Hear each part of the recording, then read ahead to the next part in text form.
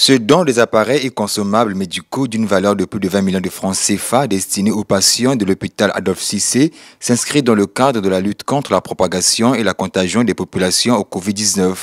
Remis par Michel Lecondi, ces kits viennent tant soit peu soulager le personnel et les malades de ce centre hospitalier. En tant que patriote, vu la crise sanitaire relative à la pandémie Covid-19 qui perdure depuis un an, pour cette action de don, j'ai associé mes amis venant des horizons professionnels divers.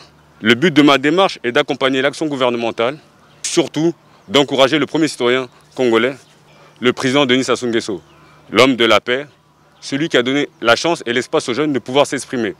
Composé des aspirateurs, des pompes à perfusion ambulatoire, des moniteurs de fonction vitale et bien d'autres appareils, ces kits seront distribués dans les services Covid, soins intensifs, de maternité, de rééducation, kinésithérapie et de physiothérapie. Au niveau de l'hôpital euh, général Adolphe Cissé, comme vous le savez, des difficultés d'ordre logistique que nous traversons.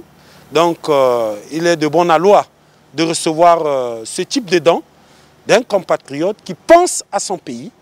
Et c'est du matériel de, haute facture qui nous permettra de subvenir tant soit peu aux besoins qui se posent dans notre service d'accueil, aussi bien de réanimation réanimation adulte que néonatale.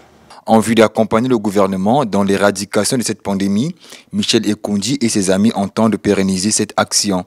Dans le même cadre, le même geste sera posé dans d'autres hôpitaux de la ville dans les jours à venir.